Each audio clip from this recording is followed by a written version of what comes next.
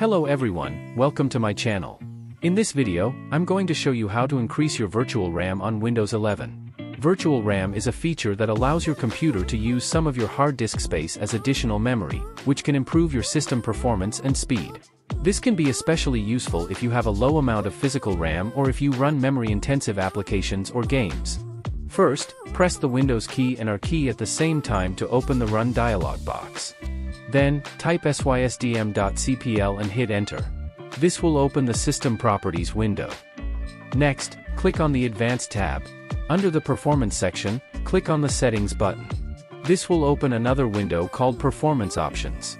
After that, click on the Advanced tab again. Under the Virtual Memory section, click on the Change button. This will open the Virtual Memory window. In the Virtual Memory dialog box, uncheck the box that says Automatically Manage Paging File Size for all drives. Then, select the drive where you want to increase your virtual RAM. Usually, this is the C drive. Then, select the Custom Size option.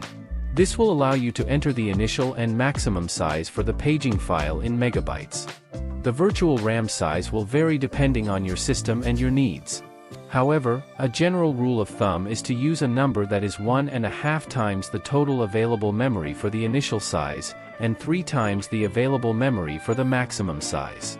For example, if you have 16 gigabytes of physical RAM, you can use 24 gigabytes, or 24,576 megabytes, for the initial size, and 48 gigabytes, or 49,152 megabytes, for the maximum size.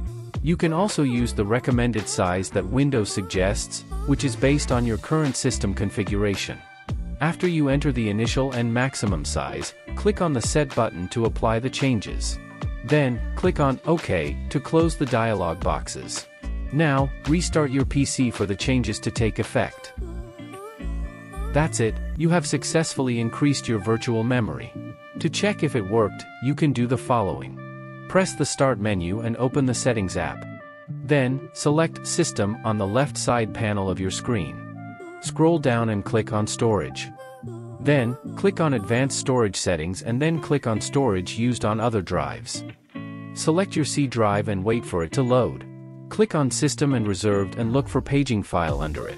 You should see the size of your virtual memory, which should match the value you entered before. I hope you enjoyed this video and learned something new. If you have any questions or suggestions, please leave them in the comments below. I would love to hear from you. Also, don't forget to subscribe, like, and share this video. Thank you for watching and I'll see you in the next one. Bye.